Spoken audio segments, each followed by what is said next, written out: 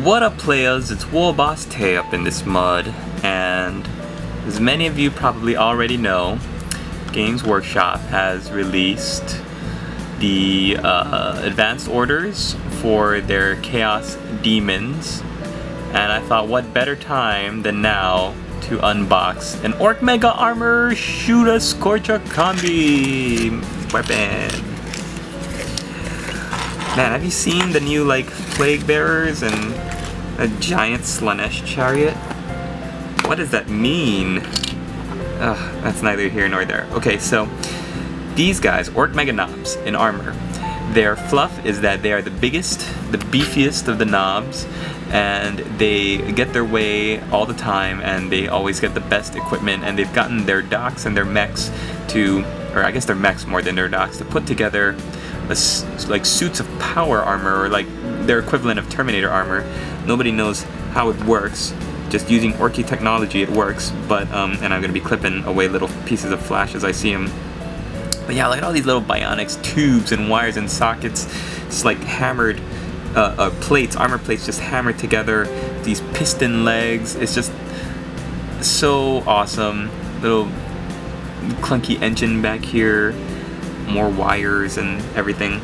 So you get a, woo, because these are the equivalent of, or, or pretty much like Orky Terminators, you get one of these bigger bases. And um, this comes with a little peg in the bottom so you can drill out one of these holes, stick them in. If you have a pin vise or even with a, a hobby knife. You also get this little metal gob for the jaw if you want to use them just click this away. I usually don't like to use metal gobs because it's easier to see the um, the the orky face. But that's just me. Also, it, it's easier to, to paint them too, um, unless you add this like last. Let's take a look at the orky face right now. Ooh, he's got like a targeter on his eye.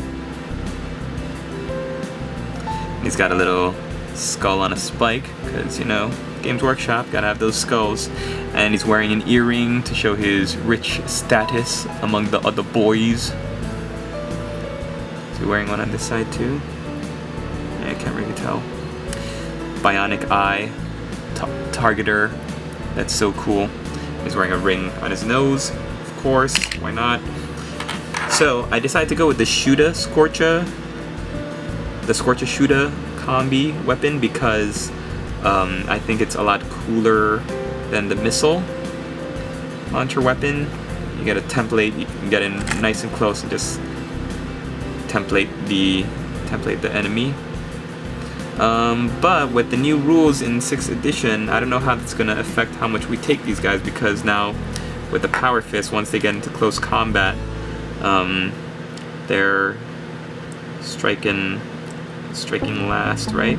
And there's so much about um, how dangerous it is now to have these guys, Power Fist guys, in your squads, in your army. I don't know, is that true? Are Power Fists gonna go the way of, you know, what Plasma did in 5th edition? How they just kind of disappeared?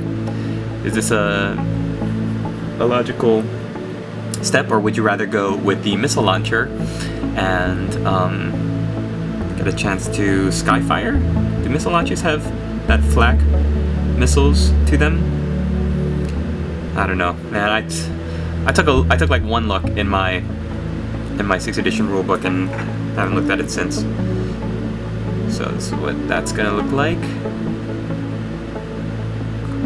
And then on this side you've got the Power Claw. Little piece of metal here.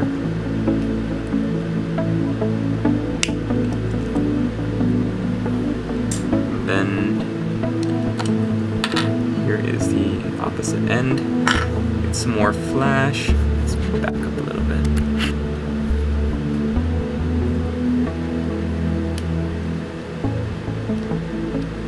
Oops, flash at the tips. Some of you might remember my Assassin's Creed model where I, in order to do a blood claw, um, kind of motif, I had modeled my Ork and Meganob armor as a Deathwing, like in that creamy Deathwing color with some green accents, and then I gave him an, uh, a green stuffed hood to make him look like Auditore. The time I think Assassin's Creed 2 just come up. so that was like the big thing. Or did I try to make it look like Altair? I don't know. I don't remember. Was it back when the first one came out? Speaking of Assassin's Creed, that new one looks pretty cool, huh? Takes place in the American Revolution. I, I remember before they had announced all those American Revolution pictures, or the this you know, yeah they um the rumor like there were so many rumors about where Assassin's Creed 3 was going to take place. If it was going to be uh, in feudal Japan with like samurai. But I like that they kind of made it in in America. America. I think it's uh, gonna look pretty cool. Oh, my air conditioner just kicked off.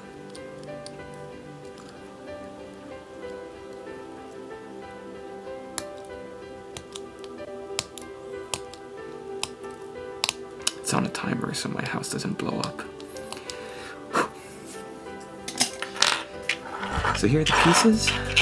I just finished cleaning them. I'm gonna go off and uh, glue them all together and glue them to the base, and then we'll see what it looks like when we get back. And there you have it, players. My Ork uh, Meganob in Meganob armor. I decided to build build him and glue him up as if his Shoota Skorcha is raised up like he's shooting a gout of flame right over the enemy and um, oh, a little bit more. There we go. Like this. And I decided to leave his metal gob off. You can put it back on like this later. Uh, you might have seen the little skull on the spike. I decided to just slap that on the top of his armor there. But yeah, great model. I think, um, you know, just because of how heavy these arm pieces are, this model I'm surprised is not, these models I'm surprised are not in Finecast yet. Um, just because it seems like a lot easier than having to drill and pin the arms into place, which I did. Anyways, thanks for watching, players. Hope you enjoyed this little unboxing video, and we'll see you in the next one.